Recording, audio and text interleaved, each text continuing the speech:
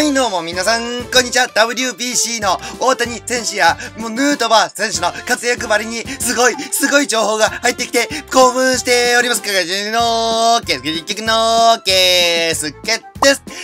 ぽーということで、もうめちゃくちゃすごい情報が入っておりました。あ、ちなみにね、大谷翔平選手もね、クラクラやってるっていうね、情報がね、まあ、1、2年前ね、あの動画に出したんですけどもね、まあね、大谷選手、見てますかね？クラクラもすごい情報入ってきてますよ。あ、ちなみに俺の夢はね、あの、大谷翔平選手に会うことです。はい。えっ、と、父親もね、大谷選手の大ファンでね、で、父親ね、今年の1月にね、あの、ちょっと脳梗塞患いましてね、まあ無事に一命取り留めてね、あの、リハビリ専門の病院に転院したわけなんですけど、父親をね、大谷翔平選手に会わせたいっていうね、夢がありますね。はい。ということで、早速、本題に入りましょう。はい。こちら、大工の拠点2.0、攻撃防衛の大工のバランス調整っていうね、情報が入ってきておりまして、まあね、もう公式で発表してあります。今年のね、春にですね、まあ大工の拠点作り変えるよっていうね、その情報を出しておりまして、それの続報が入りますので、今回は、こちらの情報に気づいてない方と一緒にね、こちらの大工の拠点どんな風に変わっていくのか見ていこうと思います。えー、なので、かが動画毎日投稿しておりますんで、まずチャンネル登録してないよーって方がいます。ぜひともチャンネル登録、よろしくお願いいたします。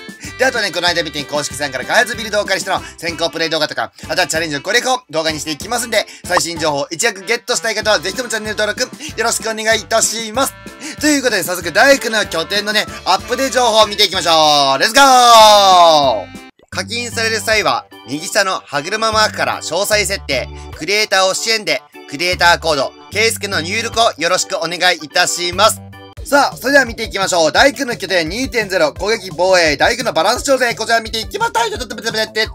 さあ、行きましょう。はい、えー、まずは、こんにちは、チーフ。クラッシュオブクランのゲームリードのストア社長です。まあ、でもね、サウスのズグフィールのフェルシギですが、カチームあったんだけど、まあ、えっ、ー、と、前回ね、あの、大工の拠点のユニティいろいろ変わるよっていう話をしまして、今回はね、えっ、ー、と、どんな風に大工の拠点変わるか、バーサス戦ですね、今は1対1の戦いなんですけれども、それが変わるよって発表がありましたんで、今回どのように変わっていくかね、あの、お話しされております。でね、これね、読むとね、えー、従来のように、えー、二人のプレイヤーが相互に攻撃し合うバーサス戦の代わりに、自分の村のマルチプレイヤー戦のようなシステムに移行しますっていう、えー、システム変更になりました。はい、これによって、えっ、ー、とね、もうなかなかね、資源獲得できないっていうストレスがなくなります。で、どんな風にね、資源獲得するかっていうのもね、あの、お話ししております。これがね、まあね、めちゃくちゃ資源狩りしやすくなりますね。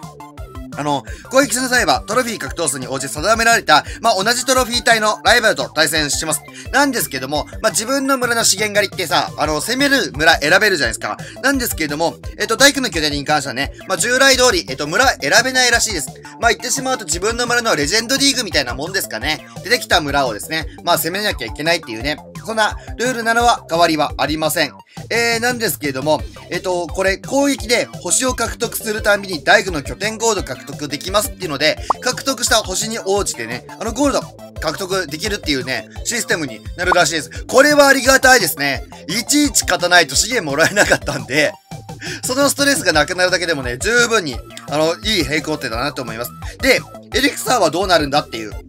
話です。で、エリクサーに関してはね、防衛によって獲得できるみたいです。で、えっ、ー、と、どれだけ攻撃しても、攻撃と防衛のバランスを保たれる仕組みとなります。えー、また防衛は、えー、防衛はプレイヤーがオンラインの最中にも発生する場合があります。防衛では自分の村から相手が獲得に失敗した星の数に応じて自分の星を獲得できますっていうので、まあ、例え今ね、ここに書いてあるんですけど、相手がね、自分の村に攻めて、まあ、星2だった場合、えっ、と、自分は星1個分のエリクサーを獲得できるっていう仕組みに、えー、なるみたいです。なので資源狩りしなくても、エリクサーはね、防衛で勝手に溜まっていくみたいなシステムになるみたいです。これ結構ありがたいかなって思ったんですけども、逆に言うと、エリクサーが欲しい時に獲得できないっていう、ちょっともどかしさが発生しますよね、これね。なんで、それちょっとどうなんだろうって、なんだ、なんだろう、いや別に攻撃だけで ゴールドエレクサンで獲得した星の数に落ちてもらえるでもよかったんじゃないかなって思うんですけれども、まあ防衛にもやりがいをね感じてほしいっていうことなので、あのー、エレクサーはね、防衛で獲得できるよっていうお話になります。で、えーこれによって効果、効果的な、えー効果的な攻撃で獲得した大工の拠点で、えーノーゴールドで、より強化な防衛を敷き、で、効果的な、効果的な防衛で獲得した大工の拠点で、エリクサーで、さらに強力な攻撃をつなげるという、好循環を生み出す仕様にすることで、プレイヤーがバーサス戦のランダム性をそれほど意識せずに、攻撃と防衛の双方に集中できるのか、ではないかと考えていますっていうシステムに、はい、なるみたいです。で、また大工の拠点にもリーグが導入されます。ね、クリスタルリーグとかマスターリーグとか、今まで大工の拠点なかったんですよね。で、上位になればなるほど、えっ、と、まあ、攻撃と防衛で獲得できる星が増加するっていうので、まあ、1日に獲得できる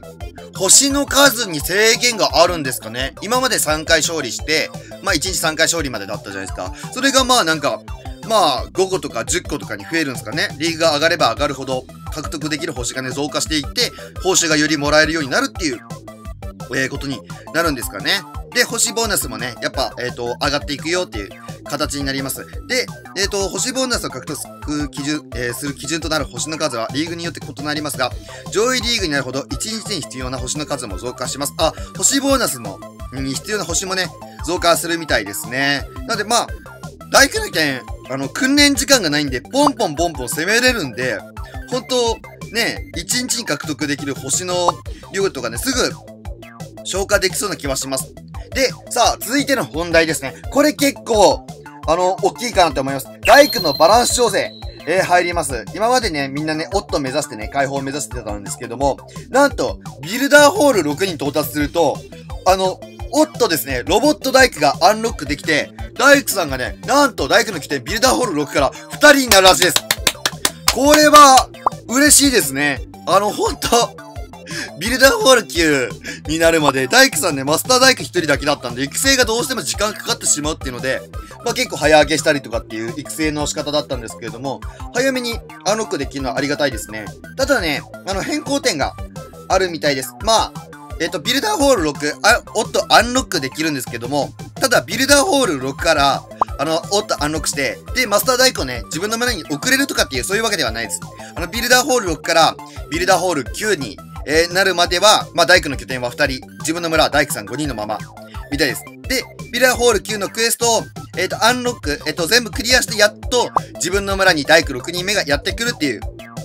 えー形に、えーなるみたいです。で、えっ、と、今回ですね、この変更によって、なんとね、今までマスター大工が自分の村にやってきて大工6人目になってたじゃないですか。じゃなくて、マスター大工と夫は自分、大工の拠点に、あの、居続けるみたいです。ここに書いてありますね。なんか、6人目の大工はマスター大工が作り出したロボット大工の一体であり、自分の村に常駐させて、建設のお手伝いとして役立てることが可能です。ロボット大工は見た目こそ大工と変わらないとマスター大工は考えています。ですが、よく見ると機械的な動作が目立つかもしれませんっていうので、なんとですね、えーと、はい、えーと、こいつがやってくるみたいです。今までマスターライ大工がね、あのー、大工6人目として自分の村にやってきてたんですけど、代わりにこいつがやってくるようになるみたいです。で、大工の拠点には、マスター大工とオットが常駐するっていう形になるみたいです。これ楽しみだな。こいつ。大工にそっくりだって思ってるマスター大工のセンスよ。で、えっ、ー、と、そしてね、あの、大工6人目に、えー、するときのね、あのこえっ、と、クエストか。それもね、なんか変更が、えー、あるみたいですね。えっ、と、はい、えっ、と、み二段落目。さらに、6人目の大工をアンロックするクエストに関しても、現在の内容を調整し、より汎用的で柔軟性のある内容を取り入れていく方針です。これについては、初めから移動放題とメガテスラを最大にしてしまうのは良くないというのが、開発チームの見解です。新しいクエストの詳細はまだまだ考案中ですが、難易度は従来の内容を、踏襲し、現行クエストの新築をも引き付けるようにしていく予定ですっていう、えことなので、まあそうですね、大工の拠点、おっとアンロックするのに、メガテスラ最大レベル、移動放題最大レベルになると、どうしても研究と建築の優先度って、そっちが優先になっちゃうんですよね。あのーもう他の防衛室は無視して、もうメガテスラ一気にね、建築、他の施設レベルを早上げて、メガテスラ最大レベルにしたりとか、あとは移動放題もね、あのー、高架線バルーン使いたいなと。でも移動放題レベル先、ね、先にマックスしないといけないなっていうので、移動放題レベル先にどんどん上げるんで、どうしても陸戦術ばっかり、ジャイ移動放題ばっかりになってしまうとかっていうのが、本当多かったと思うんで、このクエストに関してもね、もうちょいね、なんか優しくなるんじゃないかなと思います。大工さんも、まあ、ビルダーホール6から2人になるんで、結構ね、緩和されるんじゃないかなと思います。大工さん6人目、ね、ゲットね、結構内容もね、緩和されるんじゃないかなって思うので、これはね、あの、いい改善になるかと思います。はい。というわけで、今回はですね、アップデート情報、大工の拠点2.0攻撃防衛、大工のバランス調整、こちらについてね、お送りしていきました。いやー、やっとね、2019年の、えっと、6月以来、大工の拠点って何もね、新コンテンツやってこなかったんで、約4年ぶりやってくるっていうので、非常に楽しみですね。で、あとはね、公式さんのね、えっ、ー、と、Q&A の方でもね、あの、ビルダーホール10ね、えっ、ー、と、この大工の拠点の2.0かのリリースに伴って出そうかなっていうふうに考えておりますんで、なので、ビルダーホール10の情報も、ひょっとしたら近日中に解禁される可能性があります。はい。なのでね、ま、またね、アップデート情報ですね。あの、仕入れましたら、こんな風にね、動画に出していきますんで、最新情報を一躍ゲットしたい方は、ぜひともチャンネル登録、よろしくお願いいたします。で、この動画面白かったためになったなって思った、グッドボタンやコメント、あと友人やクラメンにシェアの方よろしくお願いいたします。はい。ということで、それでは次の動画でお会いいたしましょう。バイバイ